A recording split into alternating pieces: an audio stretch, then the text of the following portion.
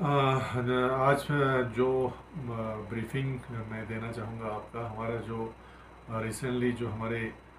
Board exams के जो results declare हुए हैं आपका क्लास टेंथ और क्लास ट्वेल्थ के तो उस के जो रिज़ल्ट्स हैं वो काफ़ी सेटिस्फैक्ट्री रिज़ल्ट्स हमारे,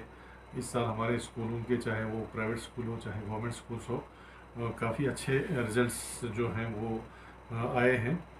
जिसमें अगर हम क्लास टेंथ की बात करें तो हमारे क्लास टेंथ में जो ओवरऑल परसेंटेज आया, वो आपका 88.82 परसेंट जो है, हमारा ओवरऑल परसेंटेज आया है।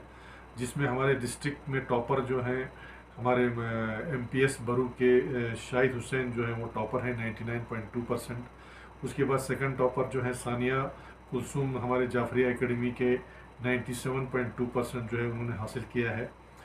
उसके अलावा टोटल जो हमारे अपियर हुए थे आपका एग्ज़ाम में वन थाउज़ेंड एक हज़ार नौ सौ चौदह जो है वो टोटल आपका अपियर हुए थे। और उसमें से आपके सतारह सौ ने एग्ज़ाम्स क्वालिफाई किए हैं। इसी तरह से अगर हम बात करें आपका क्लास ट्वेल्थ का क्लास ट्वेल्थ में भी हमारा जो पास परसेंटेज रहा वो आपका ओवरऑल पास परसेंटेज जो है वो सेवेंटी सिक्स परसेंट रहा है। जिसमें टॉपर हमारा government boys higher secondary school के लियाकत अली टॉपर हैं और सेकंड नाजिया बानो आपका सुलू अली का। तो ये इस साल के हमारे रिजल्ट्स डिक्लेयर हुए और सबसे अच्छी चीज़ इसमें हमें ये देखने को मिला है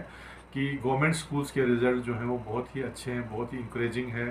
बहुत ही हमारे अगर आप, आप पोजीशन होल्डर देखें या डिस्टिंक्शन वगैरह में गवर्नमेंट स्कूल्स का भी बहुत ही अच्छा इसमें रोल रहा है। बाकी प्राइवेट स्कूल्स का तो ऑलरेडी एक रोल है उनका तो हमारे एजुकेशन सिस्टम में एक कंट्रीब्यूशन पहले से ही चलते आ रहा है। उसके जो टीचिंग स्टाफ हैं, उनके प्रिंसिपल्स हैं उन सबको कॉन्ग्रेचुलेट करता हूँ और ख़ासकर सारे बच्चों को भी जिन्होंने आपका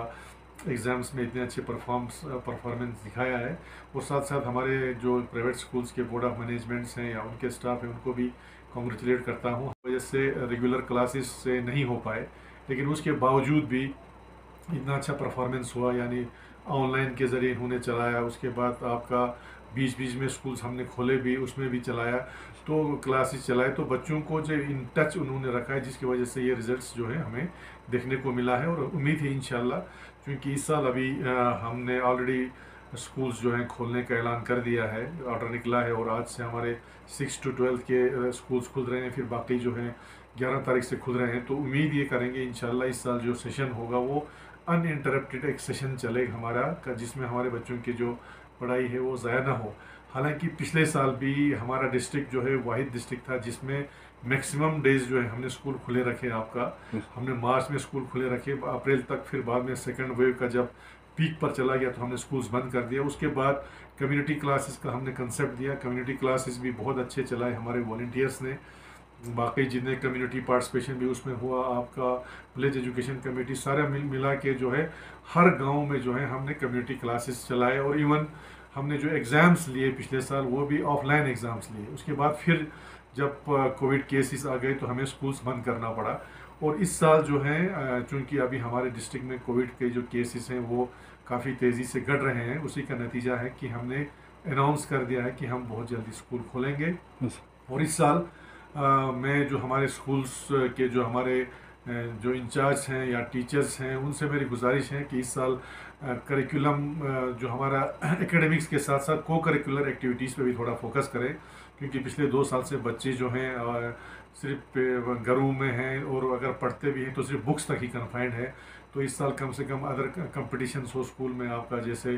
डिबेट कंपटीशंस हो या ड्राइंग कंपटीशंस हो, उसके बाद स्पोर्ट्स कंपटीशंस हो पेरेंट्स डे एनुअल डे वगैरह जो है ऑर्गेनाइज होना चाहिए इस साल। एजुकेशन सिस्टम जो है, उस सिस्टम पे जो है इफ़ेक्ट नहीं होने देंगे। किसी भी चीज़ का हमने हर तरह इम्कान कोशिश की है और आइंदा भी इन हमारी कोशिश ये रहेगी कि कम्युनिटी से मिल के कम्युनिटी से मिल के एजुकेशन डिपार्टमेंट हो काउंसल हो बाकी सारे मिलके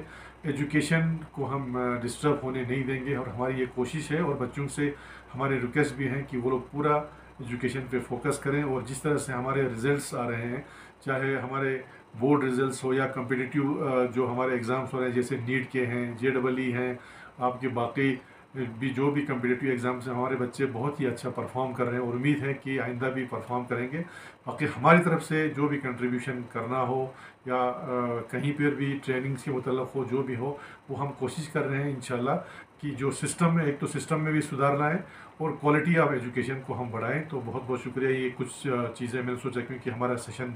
जो है शुरू हो रहा है। तो मैं ये मैसेज जो है स्टूडेंट्स पेरेंट्स और टीचर्स को देना चाहता था और हम सब मिल के इस सेशन में फुली जो है